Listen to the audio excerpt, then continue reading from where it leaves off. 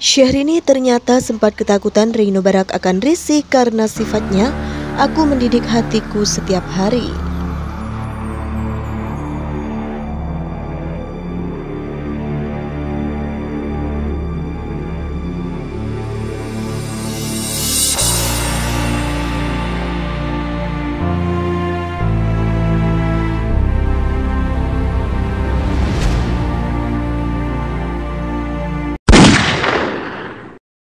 Dapur berita artis terkini. Hai guys, semoga kabar Anda baik-baik saja. Selamat datang kembali di channel Duster Infotainment. Terima kasih karena sudah memberikan support dan juga kesetiaan Anda untuk membangun channel ini. Kehidupan rumah tangga Syahrini dan Reino Barak memang tak pernah lepas dari sorotan. Keduanya kerap kali membagikan momen kebersamaan di media sosial masing-masing. Terlihat harmonis Syahrini ternyata sempat takut. Reino Barak merasa risih dan jijik. Ada apa? Seperti yang diketahui Syahrini memang lekat dengan kesan manja. Bahkan sang penyanyi pun mengakui hal tersebut dan sempat takut sifatnya ini menjadi bumerang sendiri bagi rumah tangganya. Hal ini lantaran suaminya yang memiliki sikap cuek. Namun ada kalanya tingkah manja Syahrini ini memberikannya keuntungan saat menghadapi Reino. Namanya bangun rumah tangga, Syahrini dan Reino Barak paham betul pasti ada naik turunnya.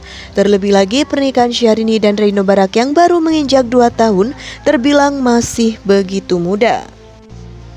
Sebagai seorang istri, Syahrini harus bisa mengimbangi sifat dan karakter suami luar dalam.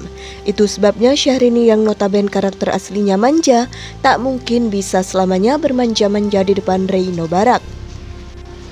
Sifat Reino Barak yang 180 derajat berbeda dengannya tak mungkin tiap hari tahan dengan karakter aslinya. Mau tidak mau yakin berusaha mengontrol sifat manjana dan menggunakannya di saat-saat tepat. Melansir dari tayangan kanal YouTube RCTI Infotainment, Semenjak menikah, Syahrini sebisa mungkin untuk mengimbangi suaminya. Penyanyi berdarah Sunda ini tak ingin membuat suaminya jijik atau risih jika harus hadapi sikap manjanya tiap hari. Aku mendidik hatiku setiap hari, misalkan lagi terlalu manja, lalu suami kurang bisa, oh ya nggak bisa ya, aku pokoknya harus tune semua karena awal jadi nggak ada berantem, nggak ada apa, ungkap Syahrini. Meski begitu, bukan berarti Syahrini tak menjadi dirinya sendiri. Jika timingnya tepat, Syahrini biasanya mengeluarkan karakter manjanya ini saat sang suami tengah emosi emosi. Jadi jika Reino Badak bicara dengan nada tinggi, Syahrini membalas sebaliknya dengan nada manja sesuai ciri khasnya.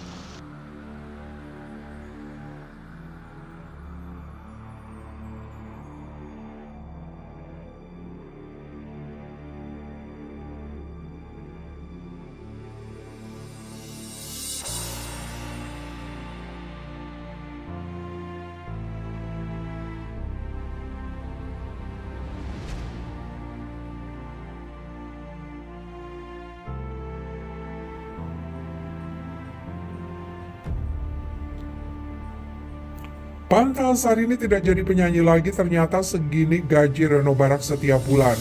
Penyanyi cantik Sarini belakangan memang sudah jarang sekali terlihat manggung. Ternyata itu terjadi sudah lama pasca menikah dengan Reno Barak. Itu terjadi lantaran pendapatan sang suami sudah sangat cukup untuk menghidupinya. Diketahui sejak menjadi istri dari Reno Barak, Syahrini perlahan-lahan meninggalkan karirnya. Lama tidak terlihat di layar kaca, Sarini diketahui kini telah menyibukkan diri sebagai ibu rumah tangga.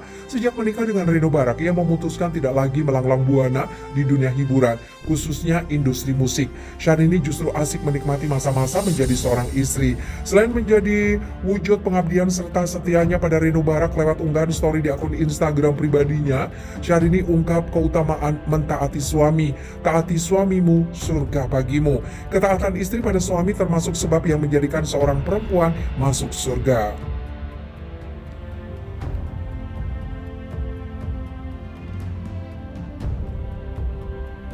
Rasulullah Shallallahu Alaihi Wasallam bersabda, jika seorang wanita selalu menjaga sholat lima waktu, berpuasa sebulan di bulan Ramadan, serta betul-betul menjaga kemaluannya dari perbuatan zina, benar-benar taat pada suaminya, maka dikatakan pada wanita yang memiliki sifat mulia ini, masuklah dalam surga dari pintu mana saja yang engkau suka.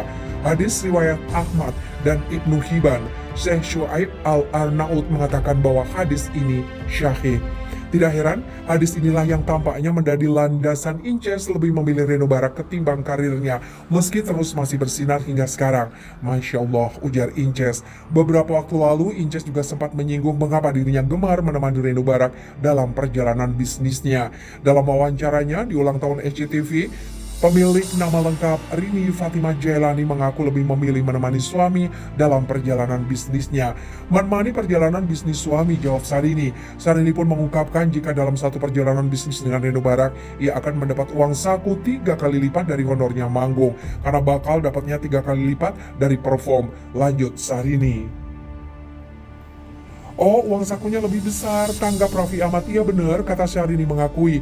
Uang manggung ya masuk keuangan sendiri, tanda Syahrini. Diketahui Syahrini berseloroh bahwa dulunya penghasilan bisa mencapai 1 miliar rupiah dalam sebulan. Tapi sang suami kini rela menanggung semuanya sendiri.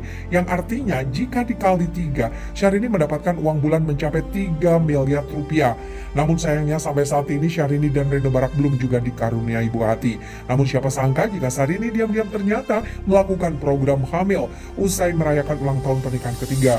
Hal itu diungkap oleh salah seorang netizen yang menyebutkan bahwa Syahrini diam-diam melakukan promil di salah satu rumah sakit Jakarta. Bahkan Syahrini disebut melakukan promil sebanyak tiga kali. Namun rupanya promil yang dilakukan Syahrini itu selalu berujung kegagalan.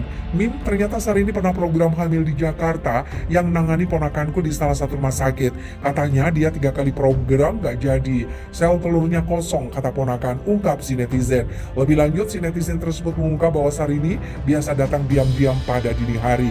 Bahkan disebutkan bahwa Syahrini datang lewat pintu belakang agar tidak diketahui. Dia kalau datang minta jam 3 atau 4 pagi yang gak banyak orang, lewatnya pintu belakang.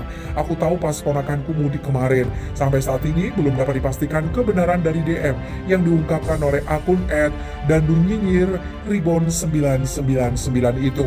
Namun rupanya banyak netizen seolah yakin dengan isi dari DM tersebut.